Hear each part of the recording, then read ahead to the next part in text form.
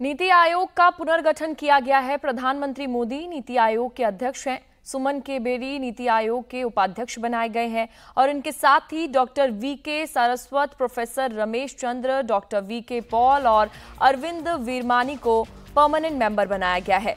नीति आयोग के पदेन सदस्यों में रक्षा मंत्री राजनाथ सिंह गृह मंत्री अमित शाह, कृषि मंत्री शिवराज सिंह चौहान और वित्त मंत्री निर्मला सीतारमण का नाम भी शामिल है। सड़क परिवहन मंत्री नितिन गडकरी और स्वास्थ्य मंत्री जेपी नड्डा भी नीति आयोग में है। इनके अलावा सहयोगी दलों को भी इस बार नीति आयोग में जगह मिली है।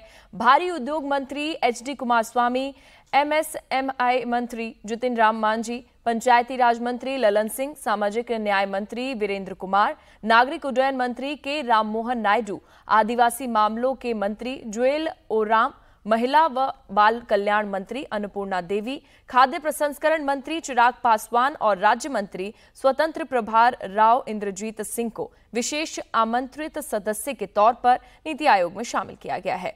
नीति आयोग का यह पुनर्गठन मोदी सरकार 3.0 में सहयोगी दलों के बढ़ते महत्व को दर्शाता है।